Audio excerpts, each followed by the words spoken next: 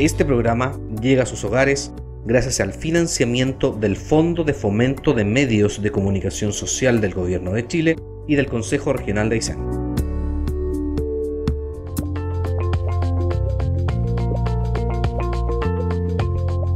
Sí, sí.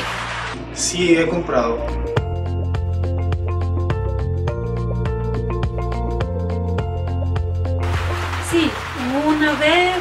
Eh, yo quería comprar un detector de metales y lo mandé a encargar, me dijeron que deposite la plata en una cuenta X y nunca pasó nada.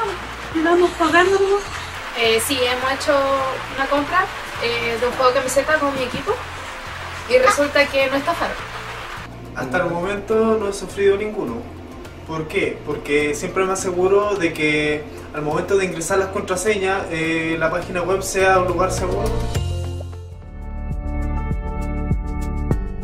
Bienvenidos a una nueva cápsula informativa Derechos del Consumidor. Como vimos en la encuesta, ya los chilenos estamos comenzando a utilizar Internet para hacer distintas transacciones comerciales, pero poco informados estamos respecto de delitos informáticos que lamentablemente son cada vez más comunes. Para conversar un poquito más sobre este tema, estamos junto al subprefecto Cristian Maldonado de la Policía de Investigaciones, quien es jefe de la Unidad de Delitos Económicos de la PDI y que nos va a explicar un poquito más sobre este tema. Bienvenido, subprefecto. Al comprar en el ciberespacio, ¿en qué tenemos que fijarnos para entender o saber que estamos frente a un delito informático? Mm, Bueno, antes que todo, eh, pese a que me presentaste, pero eh, quiero dar las gracias también por este espacio para poder entregar información a la comunidad y que sirva para tomar algunos hábitos de, resguardo respecto a estas figuras. y como bien lo decías también, eh, los chilenos hemos, eh, en el último tiempo, con el avance tecnológico, eh, hacemos uso de todas estas de, esta, de estas herramientas para poder facilitarnos la vida. Y dentro de eso está utilizarlo en, nuestras cotidianidades, pagos de cuentas, qué sé yo. Eh, eh, tenemos un montón de, en los celulares, eh, tenemos el, acceso a la tecnología en todas partes. Así que bueno, eso también le ha generado un campo nuevo a la, delincuencia para poder desarrollar algunas actividades que van con lo ilícito derechamente.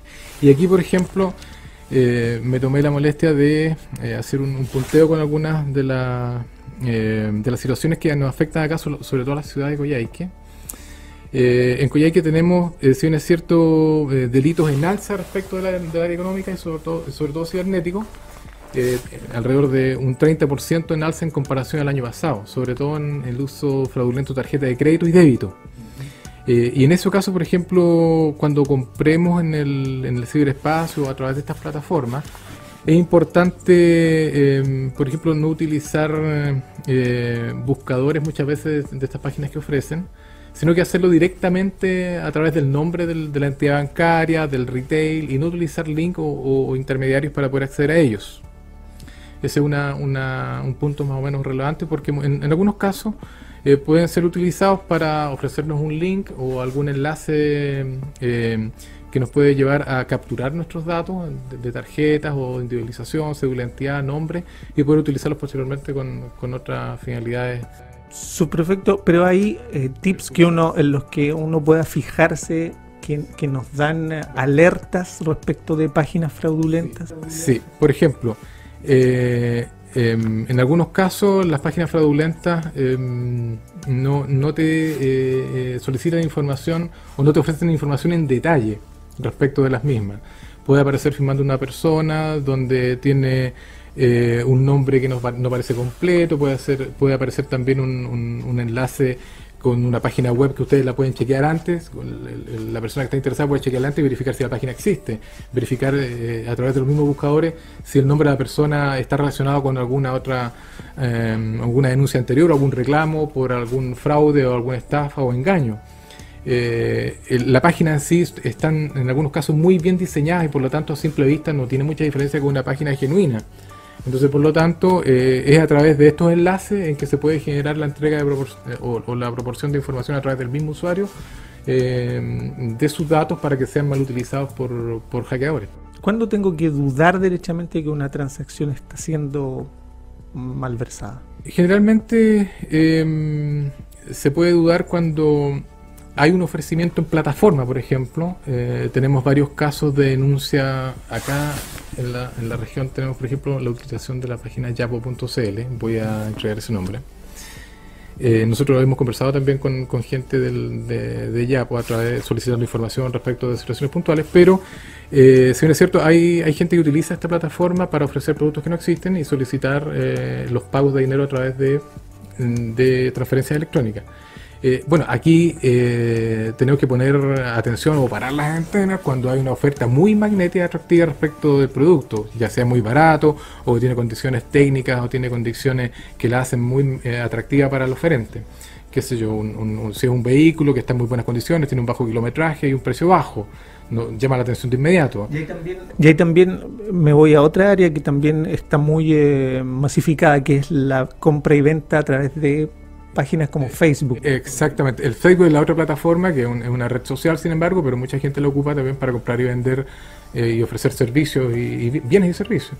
Y, y también en, en, este, en estos casos, en, en, Facebook, usted puede verificar si el nombre del oferente o la persona efectivamente tiene anteriormente algún, otro, algún reclamo o alguna situación que, que haga desconfiar del ofrecimiento que está haciendo en ese minuto. Subprefecto, nos vimos involucrados en una estafa hablemos de Facebook o alguna otra plataforma en Internet. ¿Qué tenemos que hacer? Levantar el máximo antecedente de la página donde ustedes hicieron el contacto primeramente.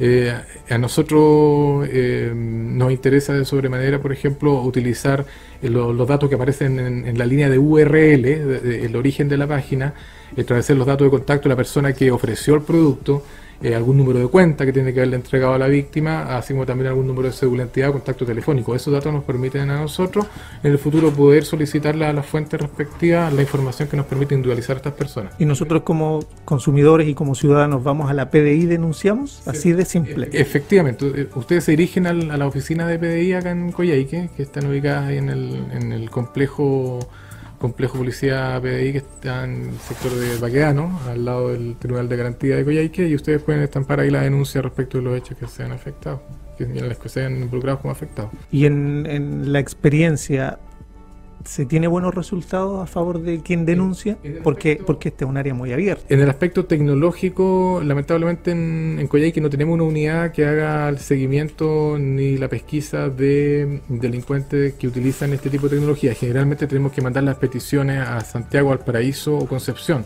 donde sí existe la unidad de cibercrimen de la PDI.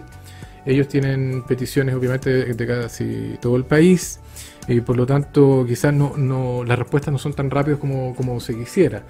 ¿Hemos tenido resultados positivos? Sí, pero también tenemos un, una alta cifra de información que no ha llegado a resultados positivos respecto a la persecución. Muy bien, le agradecemos entonces al subprefecto Cristian Maldonado de la PDI que nos contó un poquito más respecto de los ciberdelitos a los que lamentablemente nos tenemos que ver cada vez más acostumbrados. Yo los invito a una nueva cápsula de derechos del consumidor.